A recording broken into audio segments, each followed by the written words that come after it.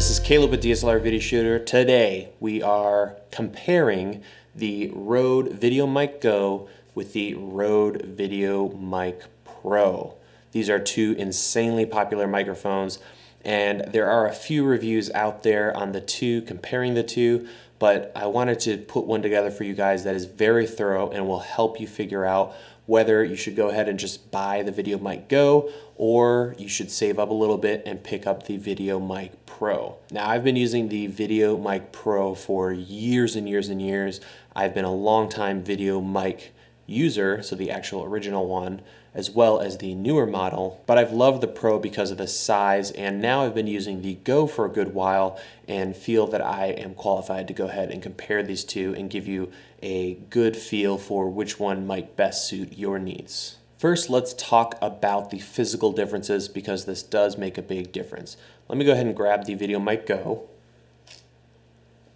And out of the gate, it's very different looking than the VideoMic Pro.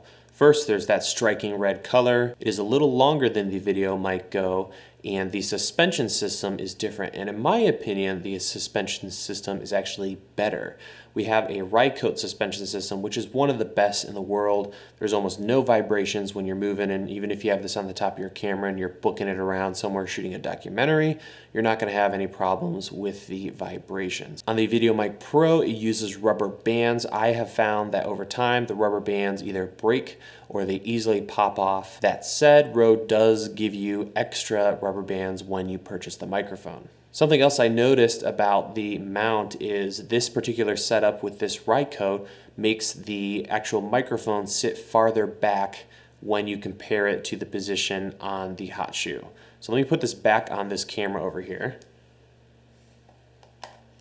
And right away you should be able to notice that the back of the microphone is pretty far back. So you couldn't actually put this up to your eye if you have a camera like these. These are mirrorless cameras. I can use the EVFs for video, which you can't do on DSLRs.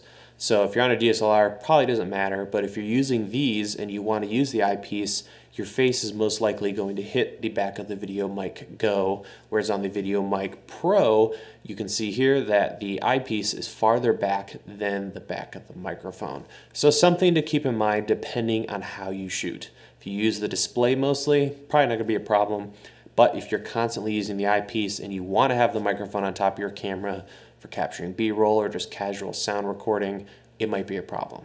Next, if we look on the back of the VideoMic Go, we can actually remove this cable, which is kind of cool because now you have a nice little small coiled um, male to male eighth inch cable and then you can pack this all away nicely, switch out to a longer cable without using an extender and uh, obviously you could also leave it on the microphone. On the VideoMic Pro you have a fixed cable that cannot be removed. And then we get to one of the biggest differences between these two, and that is the battery. The VideoMic Go does not have a battery. You can literally just plug it straight into the camera and go, hence the name VideoMic Go. The idea with this microphone is that at any point, if it's on your camera and hooked up, you can whip it out and record and you have audio from a shotgun microphone. On the VideoMic Pro, there is a battery. It's a 9 volt battery and it does last a very long time, but you do have to remember to turn it on. I'm sure some of you can relate. I forget to turn it on all the time. And uh, if you miss that, you miss that, and your microphone isn't recording. The other sad thing is most cameras, when they have a microphone plugged in, they automatically turn all other sources off.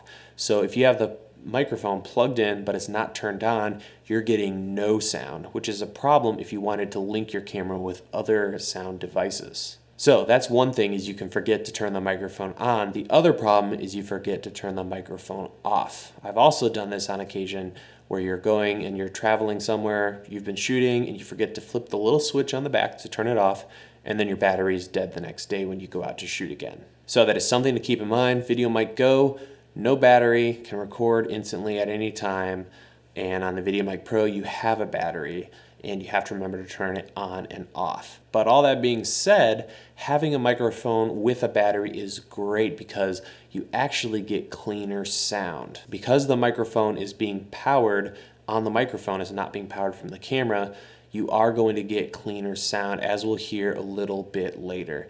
The other cool thing about the VideoMic Pro that is drastically different than the VideoMic Go is the switches on the back.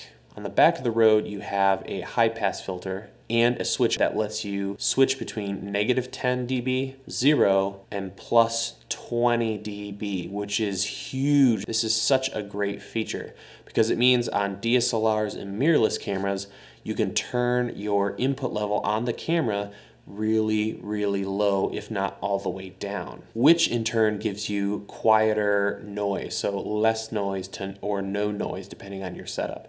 Camera preamps aren't very good, so to have a microphone that can give a hot, really hot signal directly to the camera is a great, great thing. So when I use this microphone with cameras directly, I almost always have plus 20 dB turned on. We'll listen to it with all the different settings here in a second, but that is a massive, massive feature that the VideoMic Go does not have. Out of the gate, one of the big differences between these two microphones is the price. The VideoMic Go is around $80, $81 US, and then the VideoMic Pro is between $200 and $230 depending on where you pick it up. Now it's time to finally actually listen to these microphones and compare the two. This first setup, we're going to listen to the Rode VideoMic Go going straight to the camera, and then we're going to listen to the Rode VideoMic Pro going to straight to the camera with all the filters turned off, and we're also going to have the Rode VideoMic Pro set to zero. So we're not cheating by giving the Pro the advantage. Both these are set to straight up zero. Testing one, two, three, testing one, two, three. This is Caleb Pike, and you are watching DSLRVideoShooter.com. Testing one, two, three, testing one, two, three, four. This is Caleb Pike with DSLRVideoShooter.com. Testing one, two, three, testing one, two, three. Testing one, two, three, testing one, two, three, four. Now I want to listen again to the Rode VideoMic Go, but this time we're going to compare it to the Rode VideoMic Pro with the plus 20 dB. Testing one, two, three, testing one, two, three, four. This is Caleb Pike, and you are watching DSLRVideoShooter.com.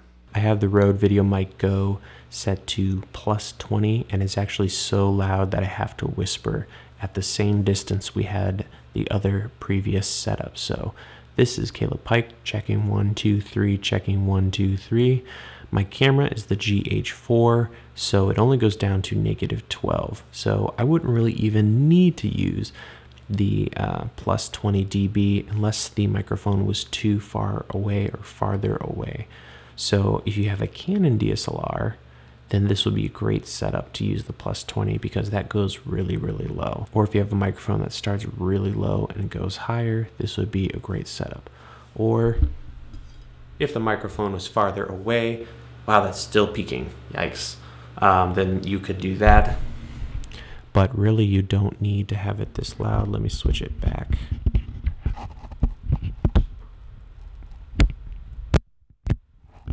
Ah, there we go. So that's much better. We're at zero. It's just an amazing microphone. You can get this thing so freaking high just on the microphone. You don't need anything else. So great setup. So there you have it. That is the two microphones compared. At the end of the day though, it really depends on what you have to spend. If at all possible, I would recommend you go with the VideoMic Pro. But if you're looking for a microphone that you're mainly just gonna leave on your camera and run around and shoot, I think the VideoMic Go is a great option. Or if you do multi-camera shoots and you just want a microphone to give you reference audio, the VideoMic Go would be great.